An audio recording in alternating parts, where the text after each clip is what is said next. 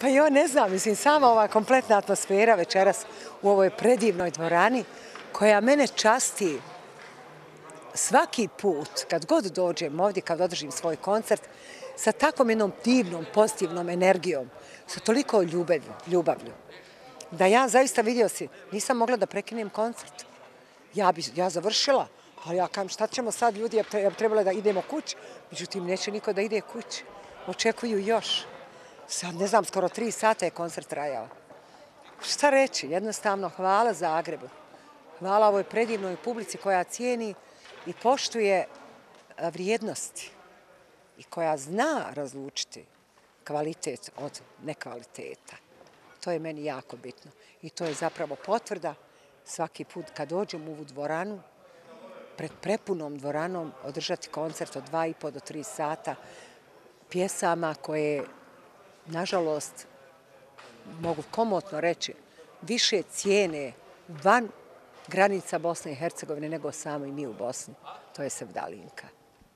Evo vidjeli smo večeras da cijela dvorana pjeva u glas e, vaše pjesme Sevdalinke e, i nekako je to i cilj svega onoga što vi radite, da prenesete ljubav, da prenosite svoju energiju, a Zagreb i dvorana Lesinski su to ukrali od vas večeras. Ja sam to podijelila s njima, ja sam to njima dala od srca. Oni su to prihvatili i oni to tako uvijek čine i da meni vraćaju tu ogromnu ljubav i energiju.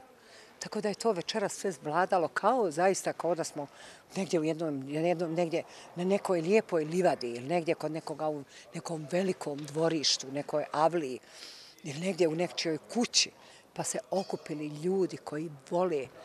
Imam osjećaj da večeras ovdje sekunde niko nije bio, nije sjedio ko je loš. Svi su večeras dobri bili ljudi. Zaista svi dobri ljudi. Zapravo svi su ljudi dobri. Samo im treba pronaći žicu kako doprijeti do njihovih tih tananih osjećaja ljudskih plemenitih. I evo, zaista smo na prelijep način u Zagrebu proslavili 45 godina umjetničkog rada. Kad ćemo ga proslaviti u Sarajevu, u Bosni i Hercegovini? Ja čekam. Čekam, Boga mi, ovdje su me zvali. Na dvije godine me zovu i pripremaju termin. I pronašli smo baš sad i nekako se poklopilo ovaj, nekako da baš bude taj moj jubilej sad, što ne znači da se nije mogao to da se nije moglo desiti u Sarajevu ili negdje drugo, ali jednostavno kad ljudi nešto žele, kad nešto hoće, to i dobiju. A oni su željeli to i dobili su. Dobili su moj jubilej, dobili su divnu pjesmu, dobili su ljubavi u ogromnim količinama i dobili su Hanku Paldu, svoju Hanku. Hvala vam puno na izvedenom vremenu. Hvala, Mare. Hvala što ste mi došli, što ste me počastili svojim dolaskom. Moja televizija Hayat. Ljubim vas.